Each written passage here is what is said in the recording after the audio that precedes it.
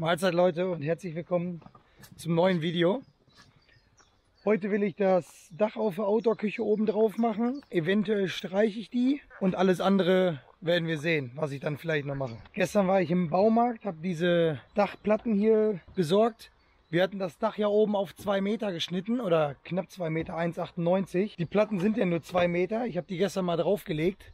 Das passt gerade so, das ist ein bisschen kacke. Da muss ich dann irgendwie vorne und hinten nochmal 5 cm wegschneiden, damit das da drauf passt. Aber dann sollte es passen. Ja, das schneide ich jetzt passend und dann schmeiße ich die Platten da oben drauf. Ich habe von zu Hause noch so dünne Leisten mitgebracht von der Vertäfelung. Das sollte reichen, um da eben drei, vier Schrauben oben drin zu versenken, dass es beim Wind nicht weg kann. Das mache ich jetzt erstmal. So, als allererstes schraube ich jetzt erstmal die hier wieder ab, damit ich dann hier drankomme mit der Säge. Natürlich ein bisschen nervig jetzt. Ne?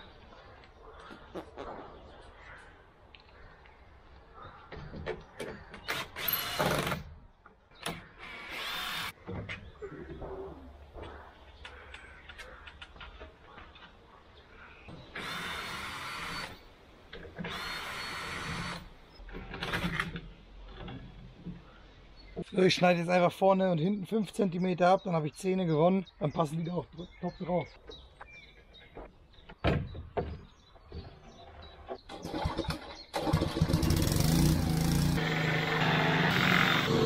So, jetzt schraube ich den ganzen Scheiß wieder zusammen. Ich liebe es, doppelt zu arbeiten.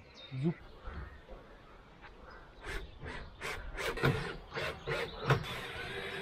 Top. Den Scheiß habe ich schon mal erledigt. Und dann kann ich jetzt die Platten drauf schmeißen. Dann messe ich mir das einmal aus. Dann habe ich hier noch diese dünnen Leisten. Schraube ich dann dazwischen, dass ich Punkte habe, wo ich das festschrauben kann. Dann sollte das eigentlich eine schnelle Nummer sein. Eventuell sieht man durch das Dach, dass ich ein bisschen bisschen krumm gebaut habe. Ja, das äh, können wir jetzt nicht ändern. So, ich habe das jetzt gemessen, ich nehme das wieder runter. Ich muss ja einmal, zweimal, dreimal verschrauben und an den Seiten fünfmal. Ich schraube jetzt alle, das ist genau von da bis da, 52. Dann setze ich jetzt alle 63 cm so eine Leiste dazwischen, schraube die fest und dann kann ich das Dach wieder draufschmeißen und äh, kann das Dach dann verschrauben. Dann mache ich das einmal sauber. Wollte ich noch eben gucken, vielleicht mache ich noch zwei Spots da rein. Ich habe noch so zwei LED-Spots, die wollte ich noch reinsetzen. Und streichen wollte ich das eigentlich auch noch, aber wir haben schon fast 6 Uhr, also wird das schon wieder knapp.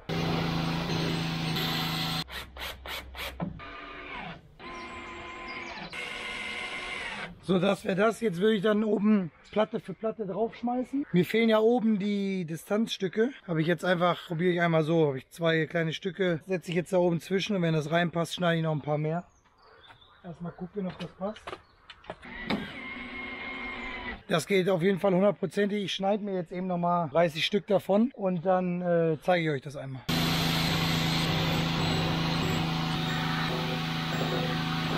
So, jetzt habe ich hier diese ganzen kleinen Dinger geschnitten und die passen dann perfekt da oben drunter. Und die kann ich jetzt hier so drunter setzen. Und schon hält das und ich habe mir diese Plastikdinger aus dem Baumarkt gespart, die ich holen wollte, aber vergessen habe.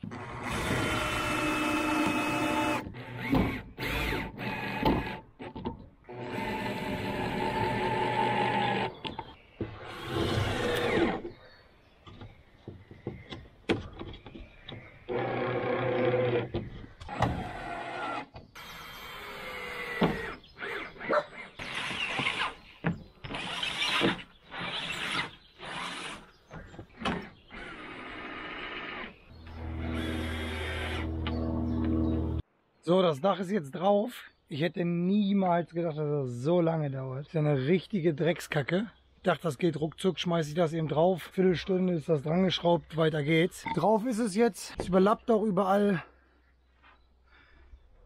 Vorne passt es, ja, nicht hundertprozentig, aber wir sind ja hier nicht, ne? Sind hier im Wald und dafür ist das schon in Ordnung. Hinten guckt es auch ein Stück drüber. So ist schon schick. Jetzt kann man dann hier auch irgendwas machen. Am Pfingstsonntag sind wir hier und wollten dann so Flaki machen. Kann man das dann hier auch stehen lassen. Da fällt von oben auch nichts drauf. Ich glaube, das ist ein bisschen cooler, weil hier liegt schon sehr, sehr viel Mist drauf. Klar, wir sind im Wald, aber ja, da kommt auch viel von oben.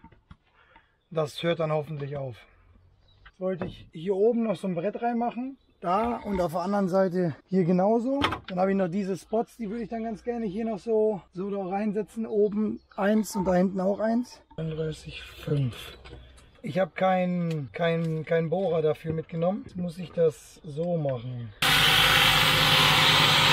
Das hat auch schon mal funktioniert. Wenn ich das jetzt so da reinschraube, kann ich das noch einstellen. Tipptopp. So, den ersten habe ich jetzt aufgehangen. Das Kabel verläuft dahinter, sieht man dann von unten nicht mehr. Kann man noch so ein bisschen neigen. Gucke ich mal gleich, wenn da ein Strom drauf ist, wie das aussieht. So, ich habe jetzt gerade mal das Stromaggregat ein Stück weggestellt. Das steht jetzt da. Äh, die Lampen habe ich jetzt beide oben drin. Zwar einmal hier und dann einmal da. Verkabelt habe ich das jetzt erstmal von hier da muss ich noch einen Kabelkanal einmal mitbringen. Aber jetzt zum Testen soll das wohl erstmal reichen. So, dann habe ich das hier unten. Das Kabel von da hinten läuft dann da drunter her. Kommen beide hier zusammen. Auf den Stecker geklemmt. Jetzt würde ich einmal live mit euch ausprobieren, ob es funktioniert, weil ich habe es selbst noch nicht getestet. Entweder brennt alles ab oder es leuchtet. Gucken mal. Top. Das sieht richtig gut aus. Jetzt ist natürlich noch ein bisschen hell. Wird natürlich im Moment auch erst spät abends dunkel, dass ich das dann testen kann. Gucken, ob ich so lange heute hier bin. Aber das sieht erstmal nicht schlecht aus. Vielleicht bringe ich mir noch zwei mit, mache ich die hier, hier oben noch zwischen. Dann sollte man hier erstmal Licht genug haben. So, für heute reicht es jetzt erstmal. Ich haue jetzt ab. Dach habe ich oben drauf. Die Lampen habe ich reingeschraubt. Morgen gucke ich nochmal, ob ich eine Lampe für hier unten drunter bekomme. Hier sieht man, ich bin auf dem Weg nach Hause, ist immer das gleiche. Wir sind auf dem Weg zum Auto. Der Hund springt nochmal ins Wasser. So, jetzt kann ich entweder einen pitschnassen Hund mit dem Auto mit transportieren, wo ich gar keinen Bock drauf habe. Oder ich bin gezwungen, jetzt noch hier zu bleiben. Sally, wollten wir nicht nach Hause? Morgen versuche ich dann nochmal zu streichen. Und jetzt haue ich erstmal ab.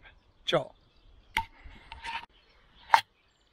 So, da sind wir wieder. Nächster Tag. Ich habe heute noch von der Post was bekommen. Das wollte ich euch einmal ganz kurz zeigen. Ich sagte ja, ich habe für die Solaranlage so ein paar Teile bestellt. Ich habe hier eine große Batterie, die soll dann im nächsten Strom speichern. 12 Volt, 180 Ampere. Also da geht ein bisschen was rein. Dann habe ich heute bekommen den Laderegler, der dann dafür sorgt, dass, das, dass der Strom von der Solaranlage passend in eine Batterie geht. Äh, Wechselrichter hatte ich ja schon. Jetzt fehlt mir dann nur noch die Solaranlage. Die kaufe ich, oder die, die Solarplatte. Die kaufe ich aber gebraucht von Kleinanzeigen und dann kann ich ja nach und nach, sehe ich ja, wie viel Strom ich verbrauche und ob ich gut klarkomme oder nicht. Das ist das Schöne, kannst dann halt immer noch eine Platte daneben machen, kannst das dann erweitern. Ich wollte einmal kurz erklären für die, die sich damit gar nicht auskennen, wie das dann demnächst laufen soll. Den Strom nehme ich außer, außer Autobatterie. Ähm, kommt tut der Strom von, das ist jetzt einfach nur so ein kleines Ding, was ich noch rumfliegen hatte, vom Solarpanel geht dann in den Laderegler. Der Laderegler macht das dann passend und wie das hundertprozentig funktioniert, weiß ich nicht. Macht dann aus, der, aus dem Sonnenstrom quasi passend für die Autobatterie. Und aus der Autobatterie kann ich dann hier unten mit so einem 12 Volt Lichtausgang quasi, kann ich, könnte ich dann Strom abnehmen, könnte den hier drüber an- und ausmachen. Hast noch zwei USB äh, Eingänge dran zum Handy laden, das funktioniert auch. Ich habe jetzt einen Laderegler genommen, der bis 100 Ampere laden kann. Ich denke mal, ich nehme irgendwie eine 100 Watt Platte oder was. Das kann man sich dann ausrechnen, wie viel Ampere maximal von der Platte kommt und danach muss man den dann wählen. Ich habe jetzt einfach einen großen genommen, da habe ich keine Kopfschmerzen, kann immer wieder erweitern und brauche das nicht ständig ändern. Das ist jetzt nur so ein Versuchsaufbau hier. Das sind natürlich viel zu dünne Leitungen, das ist einfach nur, um das mal zu zeigen. Ja, der Strom geht dann hier rein, er wandelt das um, pack das dann in die Batterie und aus der Batterie nehme ich das dann mit dem Wechselrichter. Der Wechselrichter macht dann aus 12 Volt 230 Volt. Der macht jetzt bis 1000 Watt. Ich sagte ja, Bachlaufpumpe hat 800 Watt. Die zum Rasensprengen, die Pumpe hat 650 Watt. Komme ich mit 1000 klar und ich habe das Stromaggregat ja noch für die ganz großen Verbraucher. Das Ding soll sein für ein bisschen Licht oder wenn ich mal hier einen Kühlschrank laufen lasse für zwei, drei Stunden, dass ich das Stromaggregat dann nicht laufen habe. Aber wie gesagt, das ist das ist das. Strom kommt von der Batterie, geht hier rein. Das Ding ist jetzt an. Jetzt kannst du dann hier normal Strom abnehmen. Zum Beispiel hier eine Lampe. Oder jetzt, was ich gestern gebaut habe, von der Outdoor-Küche, die Beleuchtung. Für sowas soll das, dann, soll das dann sein und dafür reicht das dann auch. Also wie gesagt, das leuchtet hier. Ne? Ja, das wollte ich noch mal kurz einmal erklären für die Leute, die nicht wissen, wie das funktioniert mit so einer mit so einer Inselanlage. Ich werde jetzt hier ein bisschen sauber machen, einmal die ganzen Späne und Dreck und so wegfegen und dann werde ich endlich anfangen, das zu streichen. Morgen ist Pfingstsonntag und wir kriegen ja Besuch und dann wollte ich das einmal eben gestrichen haben. Die Farbe habe ich äh, die günstigste gekauft, also ich habe keine Ahnung, es steht drauf dunkelbraun. Ich werde gleich sehen, wie es aussieht. Ja, wenn es total kacke ist, muss ich es runterschleifen oder was. Aber erstmal probieren wir das jetzt aus. Ich habe jetzt sauber gemacht, das bisschen abgefegt, das Zeugs mal durchgeschüttelt und hier reingekippt. Ja, die Farbe sieht ein bisschen, bisschen komisch aus, aber streiche jetzt drauf und gucken, was dann passiert, wie es aussieht.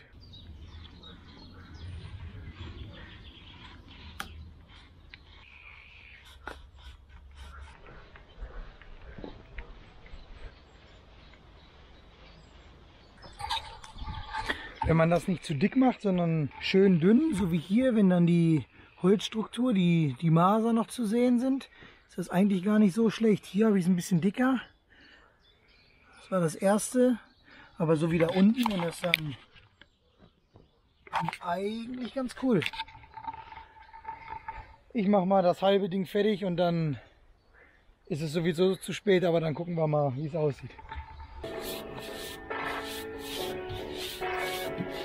Die erste Hälfte habe ich jetzt fertig. Ich finde es ganz cool. Es kommt halt überall wieder, wieder durch, weil das ja auf so einer Wasserbasis ist. Und es ist halt nicht mehr so auffällig. Ne? Ich finde es, hier wird es jetzt sehr hell, dann muss ich vielleicht gleich nochmal drüber. Aber die Holzmaserung bleibt und so. Ich glaube, ich mache das hier oben drauf auch. Also ich mache erstmal weiter, weil das habe ich mir nach dem ersten Pinselstrich schlimmer vorgestellt. Das ist eigentlich, ich finde es top. Ich habe es jetzt geschafft nach ein paar Stunden Streichen. Ich bin richtig, richtig, richtig zufrieden. Sieht richtig gut aus. Ich habe noch ein bisschen äh, was ausprobiert vorne mit ein, zwei Lampen. Das ist die Theke jetzt.